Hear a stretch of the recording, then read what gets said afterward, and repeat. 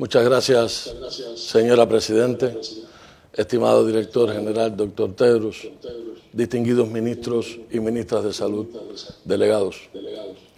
La COVID-19 es un reto global que no distingue fronteras, ideologías o niveles de desarrollo.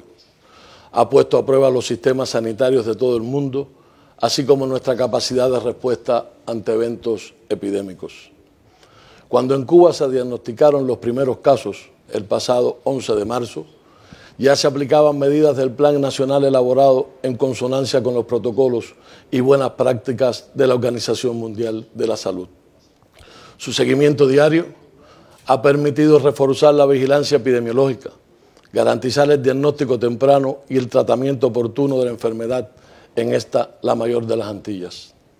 Su implementación se apoya en un sistema de salud gratuito y resiliente, con un indicador de nueve médicos por cada mil habitantes que permite un 100% de cobertura de la población.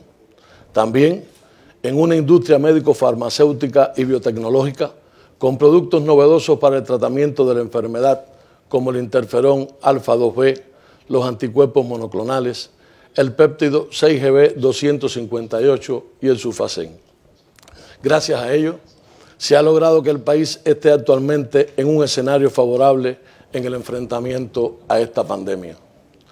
Sin descuidar ningún momento la responsabilidad de proteger a nuestro pueblo, no hemos abandonado la vocación solidaria de la Revolución cubana. Más de 2.300 colaboradores, organizados en 26 brigadas del contingente Henry Riff, contribuyen hoy en la lucha contra esta enfermedad en 24 países. A ellos se suman los más de 28 mil profesionales de la salud que ya se encontraban en 59 naciones. Este gesto solidario no han podido impedirlo ni el genocida bloqueo impuesto por el gobierno de los Estados Unidos contra Cuba, cruelmente recrudecido, ni los intentos de la administración de ese país para desacreditar y obstaculizar la cooperación médica internacional cubana. Señor presidente, Ningún país por sí solo puede enfrentar esta pandemia. Se requiere de una respuesta mundial sobre la base de la unidad, la solidaridad y la cooperación multilateral renovada.